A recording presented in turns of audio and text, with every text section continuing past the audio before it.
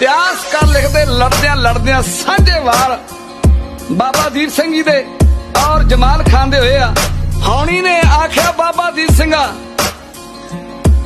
ਮੈਂ ਆਖਿਆ ਸੀ ਤੇਰਾ ਪਰਨ ਸੇ ਨਹੀਂ ਚਣ ਦਊਂਗੀ। ਤੇਰੇ ਮੈਂ ਜਿਹੜੇ ਪ੍ਰਾਣ ਰਾਹ ਵਿੱਚ ਰੋਲ ਕੇ ਰੱਖ ਦੂੰਗੀ ਤੇਰੇ ਗੁਰੂ ਦਾ ਮੰਦਿਰ ਇਹ 5 ਮੀਲ ਦੂਰ ਆ। ਨਿਹੰਗ ਸਿੰਘ ਹੋ ਕੇ ਝੂਠ ਬੋਲਿਆ ਈ, ਅਮਰ ਛਕ ਕੇ ਝੂਠ ਬੋਲਿਆ ਈ।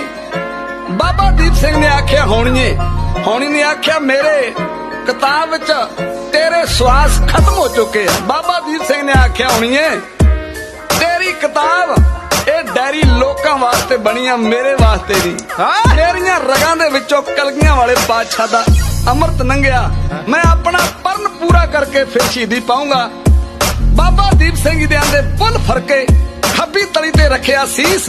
ਸੱਜੇ ਹੱਥ ਵਿੱਚ ਫੜ ਕੇ ਫਲਾਦੀ ਖੰਡਾ, ਕੌਮ ਦੀ ਅਗਵਾਈ ਕਰਦਾ, ਬਾਬਾ ਦੀਪ ਸਿੰਘ ਜੀ ਚਰੀ ਵਾਂਗ ਦੁਸ਼ਮਣਾਂ ਨੂੰ ਵੱਢਦਾ। ਇਹੋ ਜੀ ਵਾੜ ਬਾਬਾ ਦੀਪ ਸਿੰਘ ਨੇ ਦੁਸ਼ਮਣਾਂ ਨੂੰ ਪਾਈ, ਦੁਸ਼ਮਣਾਂ ਨੇ ਲਾਹੌਰ ਜਾ ਕੇ ਸਾਹ ਲਿਆ। ਉਹਨਾਂ ਆਖਿਆ ਖਾਨਾ, ਸਾਨੂੰ ਜੀਂਦਿਆਂ ਨਾਲ ਲੰਡ ਕਰਾਏ ਕਿ ਮਰਿਆ ਨਾ? ਉਹਨੇ ਆਖਿਆ ਉਹ ਕੋਈ ਮਰ ਕੇ ਵੀ ਲੜਦਾ। ਉਹਨੇ ਆਖਿਆ, ਬਾਬਾ ਦੀਪ ਸਿੰਘ ਜੀ ਬੁੱਢਾ ਜਿਹਾ, ਇੱਕ ਰਾਸੀ ਉਹਨੂੰ ਵੱਢ ਕੇ ਸੁੱਟ ਦਿੱਤਾ। ਉਹਦੇ ਨਾਲ ਦੇ ਨੇ ਆਖਿਆ, ਇਹਦਾ ਜੀ ਅਜੇ ਕੀ ਵਿਗੜਿਆ? ਉਹ ਫਿਰ ਉੱਠ ਕੇ ਲੜਨ ਲੱਗ ਪਿਆ। ਉਹਨੇ ਆਖਿਆ ਕੱਲਾ ਹੀ ਹੋਰ ਵੀ ਕੋਈ।